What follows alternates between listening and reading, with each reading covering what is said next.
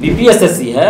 ये मुझे तो लगता ही नहीं है कि ये, ये है। कोई सरकारी सरकारी आयोग है। ये लगता है जैसे तालिबानी आयोग है कोई। जो तालिबानी एकदम तालिबानी लग रहा है। मतलब हमको जो मन करेगा हम करेंगे।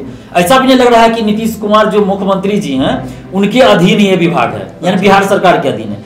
ऐसा लग रहा है कि तालिबान का कोई शासक यहाँ आ गया है और वो राज कर रहा है। उमर कौन है? हाँ वही लग रहा है मुझे वही लग रहा है। उमर कौन है? सुनीत कुमार है। सुनीत कुमार अपने आप को समझ रहे हैं। हमें जातीय पत्रकार बता दिया जाता है। क्यों ना करें हम जाति की बात? आखिरकार जब पूरा बिहार ही जाति पर चल रहा है, अधिकारियों का जमीर मर चुका है, नेताओं का जमीर मर चुका है, आने वाली एक पूरी नस्ल के साथ, एक पूरी पीढ़ी के साथ इस तरीके का भद्दा मज़ाक चल रहा है, जहाँ पचास साठ लाख रुपया लेकर बीपीएससी में अधिकारी बन जाते हैं, साढ़े सात सालों में। बीएसएससी का रिज़ल्ट नहीं आता है, और प्री के डेढ़ साल के बाद दरोगा का मेंस का एग्ज़ाम लिया जाता है उस बिहार में आखिरकार सुशासन है तो कहाँ है? और क्या जो हमारे मुख्यमंत्री हैं नीतीश कुमार जो सर्वासर्वी हैं वो सचिवों से अपने अधिकारियों पर लगाम क्यों नहीं लगा रहे हैं? क्योंकि सीधे तरीके से अगर आरोप किसी पर मढ़ा जाएगा तो वो ये भ्रष्ट और करप्ट ब्यूरोक्रेट्स ही है बिहार में जिन्होंने पूरे बिहार को आज तबाह कर दिया है। सचिवालय में 60 प्रतिशत से ज़्यादा पद खाली है। जी। और 2014 के बाद कोई वैकेंसी नहीं सचिवालय सहायक की आई है। तो आप बताए कि कैसे काम हो रहा है और कह रहे हैं कि हम विकास कर रहे हैं। तो विकास कैसे कर रहे हैं आप? ऐसा स्थिति बिहार में आ गया है कि आप कोई भी डिपार्टमेंट में चल जाइए अगर कोई काम आपका लेट हो रहा है तो अधिकारी या स्टाफ वहाँ सीधे बोलेंगे कि हम क्या कर सकते हैं। हमारे पास मजबूरी है स्टाफ नहीं है हम कितना काम अकेले करें। जी क्या आपको लगता है कि ये स्वतंत्र भारत का इक्कीसवीं सदी का एग्ज़ाम है या फिर अंग्रेज़ों के जमाने में जो परीक्षा लिया जाता था उस तरह का परीक्षा है? नमस्कार द इंडिया टॉप में आप सभी का स्वागत है। मेरा नाम उदित तारन है। अब इस वीडियो में आप एक नया चेहरा देख रहे होंगे। तो विश्लेषण हम करेंगे, लेकिन यह विश्लेषण कोई राजनीतिक विश्लेषण नहीं है। हालाँकि, बात करते समय अगर राजनीति पर पहुँच जाया जाए तो कहना गलत नहीं होगा कि जो राजनेता है, जो बिहार की राजनीति है, उन्हीं का देन है कि साढ़े सात साल के बाद भी जब वैकेंसी आता है तो उसका ज्वाइनिंग नहीं होता है।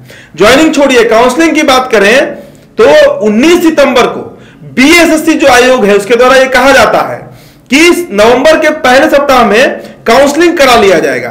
आज एक नवंबर हो गया। इस पर हम प्रतिक्रिया लेंगे। हमारे साथ दो शख्स इस वीडियो में मौजूद हैं। दोनों जाने, माने चेहरे हैं, उन छात्रों के बीच, जिन छात्रों ने बीएसएससी का आवेदन भरा था।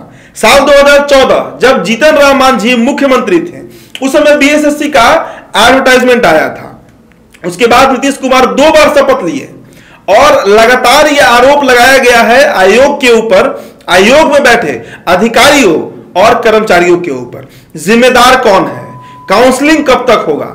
ये इतना गहरा विषय है कि द इंडिया टॉप का जो व्हाट्सएप है, उस पर लगभग हज़ारों स्टूडेंट्स लगातार हमें व्हाट्सएप करते हैं। तो इस मामले की गंभीरता आप इसी से अंदाज़ा लगा लीजिए कि रात के दो बजे भी हमें कॉल आ जाता है कि, सर कुछ बताइए कि काउंसलिंग कब होगा?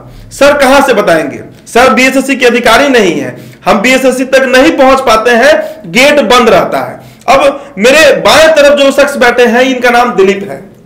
आप सभी जानते होंगे, जो छात्र वीडियो देख रहे हैं। तीन चार सालों से ये लाइव लाइट में रहते हैं। लाइव लाइट में रहने का कारण है कि ये विरोध करते हैं गलत नीतियों का। विरोध करते हैं सरकारी परीक्षाओं में होने वाली देरी का विरोध करते हैं धांधली का विरोध करते हैं पेपर आउट होने का। और बीएसएससी को लेकर इन्होंने अभी बड़ा आंदोलन भी किया था गांधी मैदान के पास। अब माफ़ कीजिएगा गर्दनी बाग के पास। तो चलिए 19 सितंबर को बीएसएससी कहता है दिलीप जी कि नवंबर फ़र्स्ट वीक में हम काउंसलिंग कर लेंगे। काउंसलिंग छोड़िए कोई नोटिफिकेशन तक नहीं है। क्या कहना है इस पर? देखिए ये तो बीएसएससी के लिए बड़ी ही बेशर्मी की बात है जी। कि बीएसएससी एक भर्ती आयोग है। हम्म। और उनके चेयरमैन और अध्यक्ष महोदय इतने बड़े पद पे बैठे हुए हैं कम से कम उनको अपनी गरी पद की गरिमा का ख्याल रखना चाहिए। ये कोई बच्चा नहीं बोल रहा बोला था कि हम काउंसलिंग। करवाएँगे। बीएसएससी के सचिव और अध्यक्ष महोदय ने नोटिस जारी किया था खुद जारी किया था कि 19 सितंबर को नोटिस जारी हुआ था कि नवंबर प्रथम सप्ताह में काउंसलिंग शुरू करवाएँगे। और आज एक नवंबर है अभी तक काउंसलिंग का तिथि भी घोषित नहीं है। काउंसलिंग के लिए कोई रैंक लिस्ट भी घोषित नहीं कि किन लोगों का काउंसलिंग कराया जाएगा। तो कम से कम बीएसएससी को तिथि घोषित कर देना चाहिए कि किस तिथि से हम काउंसलिंग करवाएँगे। और अभी तक तिथि घोषित नहीं की है और उल्टे देखिए फिर से एक नया जिन निकला है एक अभ्यर्थी को फिर से पास करवाया गया है कि पास हुए हैं गलती से छूट गया था। अच्छा। तो गलती से कैसे बार बार आपसे छूट जा रहा है? तो इसके लिए कौन जिम्मेवार है? आखिर आप दरोगा बहाली में देखिए सिपाही भर्ती में देखिए बीपीएससी में देखिए अगर इस तरह से बार बार अगर कहेगा कि हम गलती किए इसको सुधार रहे हैं तो ये तो बहाली कभी पूरी ही नहीं होगी। और ठीक है अगर गलती हुई है ठीक है उसको सुधार कीजिए ना और सुधार कर रहे हैं तो जो जिम्मेवार है उस पर कार्रवाई कीजिए। और इधर जो बावन हज़ार लगभग अभ्यर्थी है उनका काउंसलिंग शुरू करवाइए। आपकी जो गलती होती है उसको आप पीछे से करवाते जाए क्या दिक्कत है? इसमें किसी को आपत्ति नहीं आप टाइपिंग लीजिए फ़िज़िकल लीजिए और ये जो बावन हज़ार पहले से है उनका आप काउंसलिंग करवाइए। इनमें से सभी का तो काउंसलिंग नहीं होगा। आपको जितना सीट से ज़्यादा काउंसलिंग करवाना है उन लोगों के लिए हम तो चाहेंगे कि सीट से कम से कम दो से ढाई गुना लोगों का काउंसलिंग करवाइए। और आप काउंसलिंग करवा देते नवंबर प्रथम सप्ताह में आप काउंसलिंग शुरू करवा दीजिए। और जो नए अभ्यर्थी है जो बारह थे और एक जो और पास हुए हैं तो इन लोगों में से जो भी फाइनल आएँगे उन लोगों में से जितने लोगों का आपका काउंसलिंग करवाना उनका बाद में करवा लीजिए इसी के साथ काउंसलिंग क्या दिक्कत है लेकिन ये पहले करवा लीजिए लेकिन इसका शुरू कर देते काउंसलिंग क्योंकि काउंसलिंग एक दिन में नहीं होगा इनको दस दिन बीस दिन पच्चीस दिन भी लग सकता है काउंसलिंग में। तो आप काउंसलिंग शुरू करवा देते कम से कम। जैसे आप कह रहे हैं कि हम काउंसलिंग करवाएँगे अगर सीट बच जाएगा तो फिर दोबारा काउंसलिंग करवाएँगे। तो आप यहाँ भी तो ये चीज़ कर सकते थे ना कि जो लोग पहले से हैं, बावन हज़ार जो है, उन लोगों में से रैंक लिस्ट जारी कीजिए और उन लोगों का काउंसलिंग करवाइए। और जो जो बारह सौ अठारह नए अभ्यर्थी, उनमें से जो लोग होंगे, उन लोगों का भी काउंसलिंग बाद में करवा लीजिए फिर फाइनल रिज़ल्ट दे दीजिए, इसमें तो कोई आपत्ति नहीं। लेकिन बीएसएससी जानबूझ के इस बहाली को लटका रही है। और कहीं ना कहीं ये इनकी मनसा संदिग्ध है वरना था आप देखिए कि 19 सितंबर को नोटिस जारी हुआ था। एक महीना से ज़्यादा का समय मिला और अभी काउंसलिंग की तिथि घोषित नहीं किया। जब जब हम लोग आंदोलन की बात करते हैं तो आंदोलन को रोकने के लिए और आंदोलन के दबाव में कोई ना कोई नोटिस जारी कर दिया जाता है। अब 19 सितंबर की बात छोड़िए। आपको नहीं लगता है कि बिहार राज्य के लिए ये कितना शर्म का विषय है? 19 सितंबर तो 2021 की हम बात कर रहे हैं। 2014 का वैकेंसी मतलब दुनिया का इतिहास में ऐसा कहीं हुआ होगा कि सात साल, और वो भी इंटर स्तरीय है। कोई बीपीएससी या यूपीएससी नहीं है कि बहुत बड़ा परीक्षा है प्री हो रहा है मेंस हो रहा है फिर इंटरव्यू हो रहा है एक लंबी प्रक्रिया है। इंटर स्तरीय परीक्षा है। आपको नहीं लगता है कि इसमें कटघरे में अगर आपको खड़ा करना हो तो किसे खड़ा कीजिएगा आप? इसकी इस पूरे प्रकरण के लिए और जो और भी जो धांधली होता है परीक्षा को लेकर उसमें। देखिए इस पूरे प्रकरण के लिए सीधे तौर पे अगर आप कहिए तो नीतीश कुमार जी जिम्मेवार है। जी। क्योंकि मुख्यमंत्री है वो और वो भी पंद्रह साल से है। हाँ।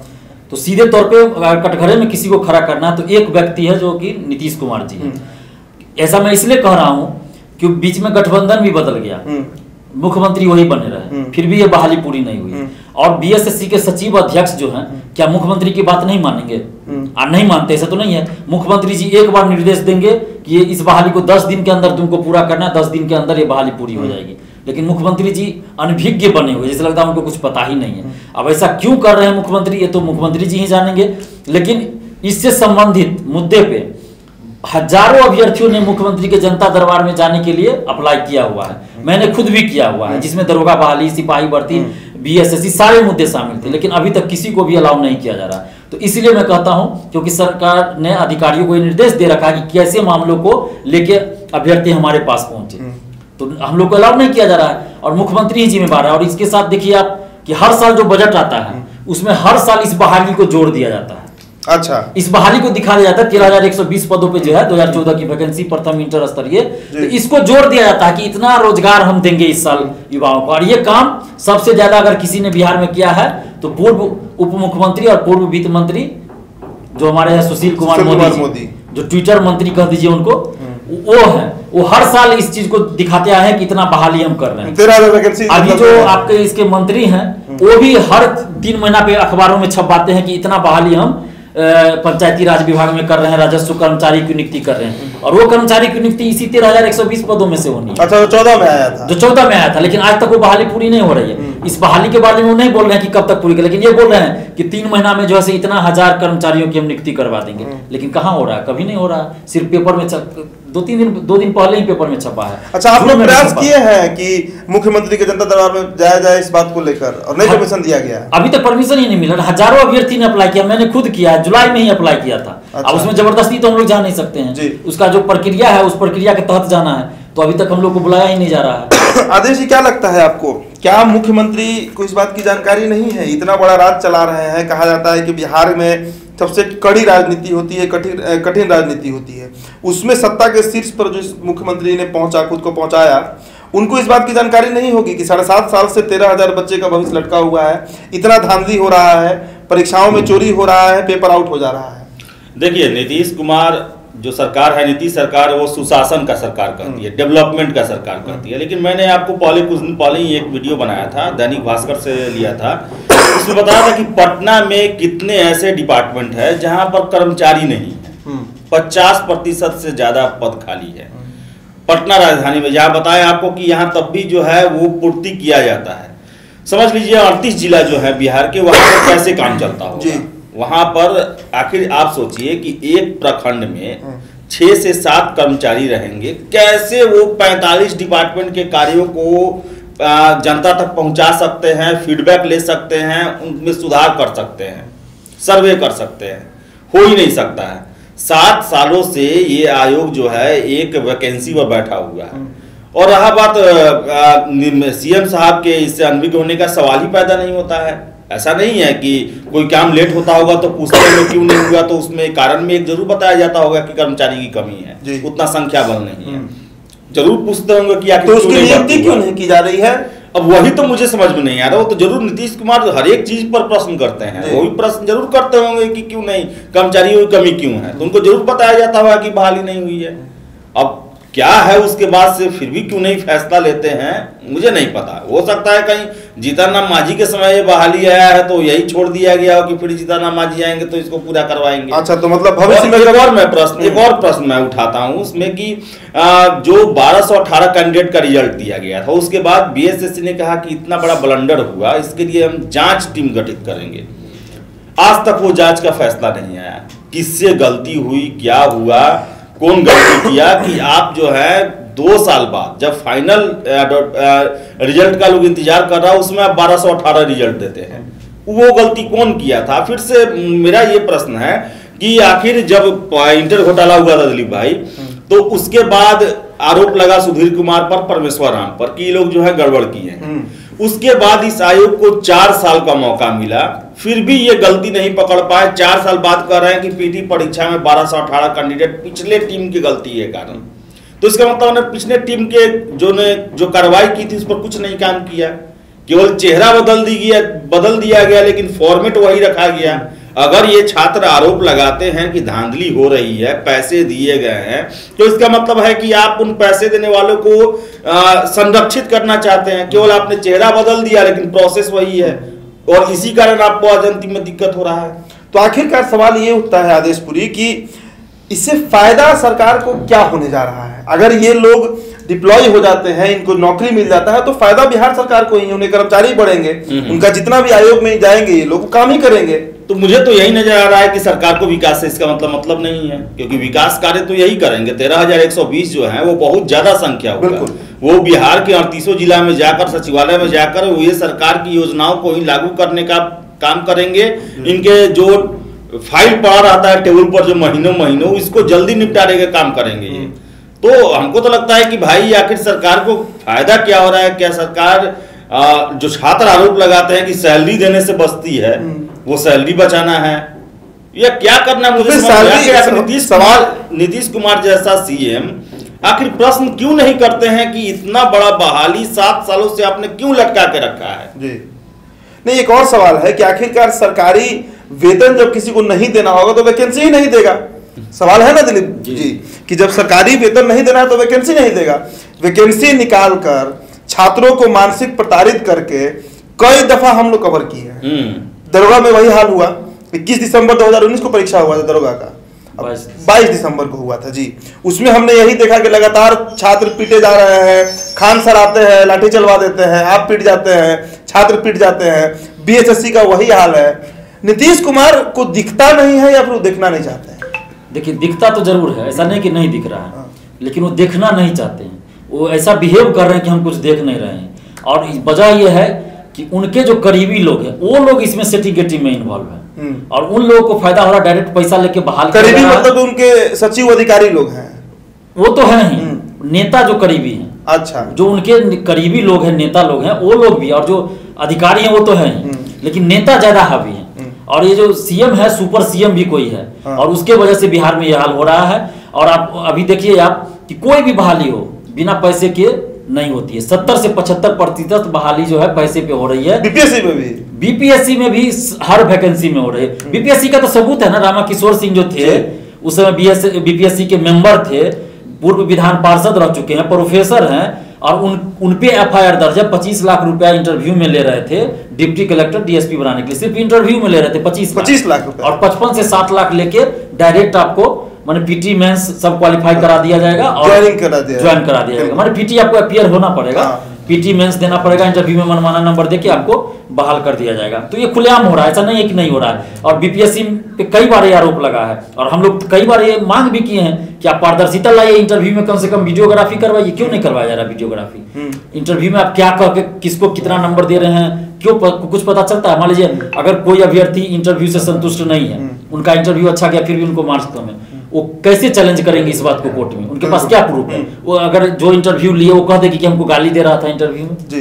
कुछ भी आरोप लगा सकते हैं। कोई प्रूफ तो नहीं अभ्यर्थी के पास है। अगर वीडियोग्राफी हो जाए इंटरव्यू का तो प्रूफ रहेगा कि देखिए इंटरव्यू में हमारे साथ क्या सलूक हुआ क्या। क्या क्वेश्चन पूछा गया क्या हमने आंसर दिया। लेकिन ऐसा नहीं हो रहा है। इसी तरह आप देखिए दरोगा बहाली में देखिए खुलेआम पेपर आउट था। हम लोगों ने सबूत तक दिया मोबाइल दिया आज तक कोई जाँच नहीं हुआ।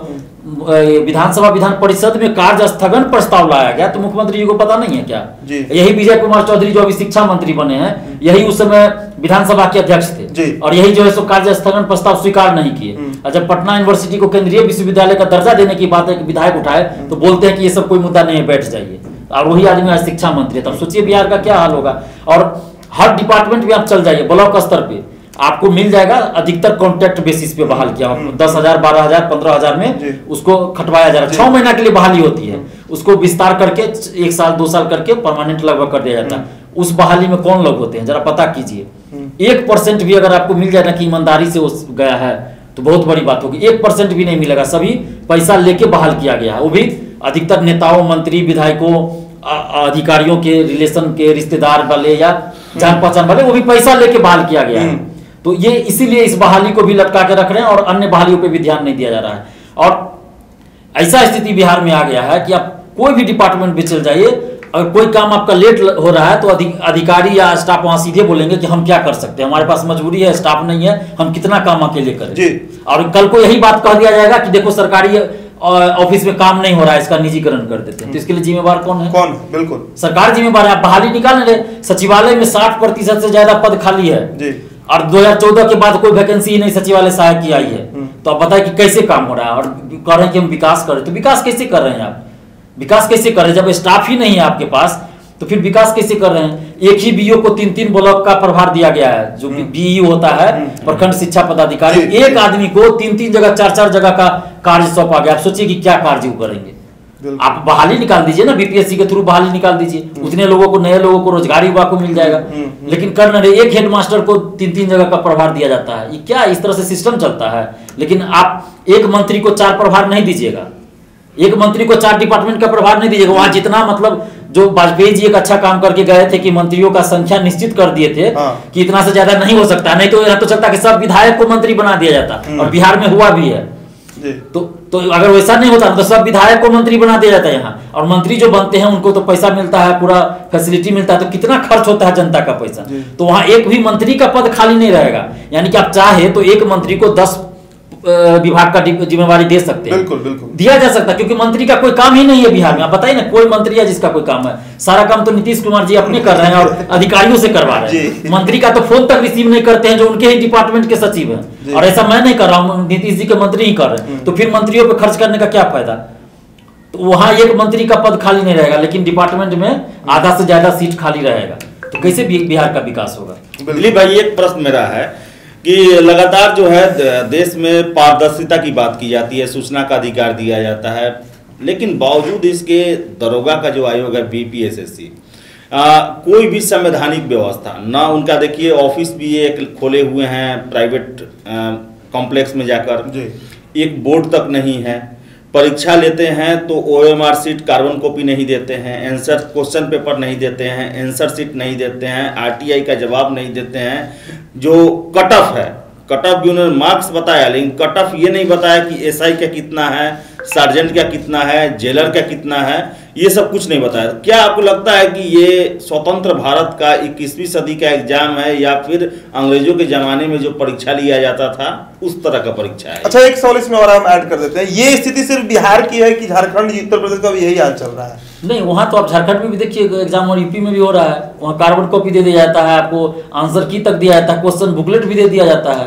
ये तो बिहार का स्थिति है। और ये जो बीपीएसएससी है ये मुझे तो लगता ही नहीं है कि ये, ये कोई सरकारी सरकारी आयोग है। ये लगता है जैसे तालिबानी आयोग है कोई। जो तालिबानी एकदम तालिबानी लग रहा है। मतलब हमको जो मन करेगा हम करेंगे। ऐसा भी नहीं लग रहा है कि नीतीश कुमार जो मुख्यमंत्री जी हैं उनके अधीन ये विभाग है यानी बिहार सरकार के अधीन है। ऐसा लग रहा है कि तालिबान का कोई शासक यहाँ आ गया है और वो राज कर रहा है। उमर कौन है? हाँ वही लग रहा है मुझे वही लग रहा है। उमर कौन है? सुनीत कुमार है। सुनीत कुमार अपने आप को समझ रहे हैं। जी। इसका शासक। अब आप सोचिए ना कि किसी चीज़ का जवाब नहीं दिया जाता है। स्टूडेंट्स मांगते हैं कि हमारा जो है ओ सीट का छाया प्रति दीजिए। आरटीआई का जवाब देता है किसी को कि आपका मार्क्स अपलोड कर दिया गया था। किसी को जवाब देता है कि ये आरटीआई के दायरे में नहीं आता है। ये आरटीआई के दायरे में कैसे नहीं आता है? के दायरे में नहीं आएगा। हमको जानने का अधिकार नहीं कि हम एग्ज़ाम दिए तो मेरा कितना मार्क्स आया। सीबीएसई मेंस के प्रश्न पत्र का जो है आपका हैंडराइटिंग कॉपी आपको जारी कॉपी जारी करता है। इसमें गोला भरा है वो क्यों नहीं जारी किया वही वही तो वही तो। नहीं दिया जाता उसके बाद देखिए ना फ़िज़िकल में जो मेडिकल लगाया था स्टूडेंट्स ने उसका एडमिट कार्ड बहुत आदमी का जारी जारी कर दिया। उसका नहीं फ़िज़िकल लिया गया। अब यानी कि अब इसके लिए कोई कानून कोर्ट कचहरी कुछ नहीं है। यानी कि इसको पता है कि हम सब कुछ जीत जाएँगे मैनेज कर लेंगे सुप्रीम कोर्ट तक मैनेज कर लेंगे। यही सोच के नहीं ऐसा किया होगा। नहीं तो एक आदमी सुनीत कुमार बताइए कभी स्टूडेंट से नहीं मिलते हैं अगर ऑफ़िस चले जाए जैसे हम लोग भी गए थे सबूत लेके पेपर लिखा अखबार में इन्होंने दिया था ऐड दिया था वेबसाइट पे डाला था कि दिलीप कुमार अफवाह फैला रहा है सबूत है तो ला के दिए हम जाँच करवाएँगे। और इसको शर्म नहीं आता कि हम लोग आयोग गए लॉकडाउन में आयोग गए कोरोना काल में गए उसके बाद ही नज़र मिलाने का हिम्मत नहीं था नहीं आए। अब पता नहीं अंदर में छुप के बैठे हो वहाँ स्टाफ कर रहे हैं दो दिन हम लोग गए कहे कि नहीं आए हैं। और उसके बाद रिसीव तक हम लोगों ने लेटर कराया मोबाइल नंबर दिया मोबाइल तक दिया था कोई जाँच नहीं आज तक हुआ। तो क्या जाँच कराया ये? तो ये तो इसका मतलब है कि या तो ये खुद कर रहे हैं सारा धांधली या इनके मार्फत कोई करवा रहा है। लेकिन अगर इनके मार्फत कोई ऊपर से करवा रहा है कोई भी बड़ा नेता जो नीतीश जी के करीबी है तो अगर ये ईमानदार है तो इस्तीफा दे देते इस्तीफा दे देते रिटायर आदमी है। आखिर बिहार में रिटायर आदमी को ही क्यों सचिव अध्यक्ष बनाया जा रहा है किसी भर्ती आयोग का। आप जो जॉब में है जिनका समय बचा उनको दीजिए ना तो एक और आदमी को रोज़गार भी मिल जाएगा ना। आप रिटायर आदमी को दे रहे हैं। अरे आप जो जिनका कार्यकाल बचा है सर्विस में उनको दीजिए उनका जिम्मेवारी ज़्यादा होगा। वो डरेंगे भ्रष्टाचार करने से। लेकिन जो रिटायर कर गए उनको आप बना रहे तो, तो समझ रहा है कि तो हमको आशीर्वाद स्वरूप पद पे बैठा है। तो जो कहेंगे वही करेंगे। मुख्यमंत्री के जो करीबी लोग हैं जो ये सब सेटिंग वेटिंग में रहते वो कहेंगे उठो। तो सुनीत कुमार उठेंगे कहेंगे बैठो तो बैठो। अब बताइए कार्बन कॉपी नहीं दिया जा रहा जबकि उस पर स्टूडेंट कॉपी लिखा रहता है। तो कहीं ना कहीं ये बहुत बड़ा जो है स्कैंडल चल रहा है। अभी बहुत बड़ा ये अगर जाँच हो इसमें सीबीआई जाँच हो तो बहुत लोग पकड़े जाएँगे। अब ये बात मैं नहीं कह रहा हूँ। आप देखिए बीएसएससी प्रथम इंटर स्तरीय बहाली में परमेश्वर राम ने कहा था कि इसमें तेईस विधायक नौ मंत्री शामिल है। अच्छा। अभी जो अध्यक्ष थे सुधीर कुमार उस समय के हाँ। अभी एफ़ दर्ज कराने गए थे। सरकार के बहुत सारे करीबी लोगों पे एफ़ दर्ज कराने गए एफ़ दर्ज नहीं हुआ।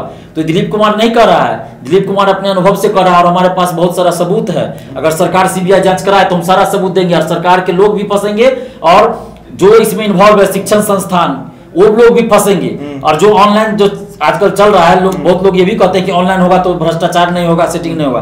तो परीक्षार्थियों को बता दें कि ऑनलाइन का तो बात ही मत कीजिए। ऑनलाइन में तो इतना भ्रष्टाचार हो रहा है कि आपको पता तक नहीं चलेगा। अभी देखिए ना एमटीएस का चल रहा था रोज सेटर पकड़ा जा रहा है।